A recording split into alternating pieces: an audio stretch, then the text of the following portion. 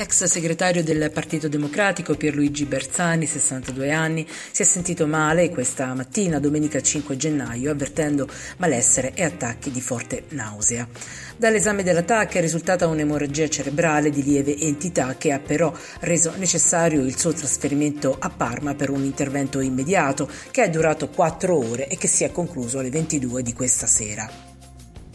Secondo quanto riportato dal suo portavoce, sembra per fortuna che non ci siano conseguenze dal punto di vista neurologico e molti hanno manifestato la loro vicinanza al politico, in particolare il presidente del Consiglio Enrico Letta che sta seguendo la vicenda da eh, molto vicino in contatto con i familiari. Matteo Renzi su Twitter esprime il suo sostegno scrivendo un abbraccio fortissimo. Anche Silvio Berlusconi scrive gli auguro di tutto cuore che possa superare al più presto questo momento momento difficile per tornare alla sua attività politica e ai suoi cari. Un abbraccio affettuoso ad un avversario leale.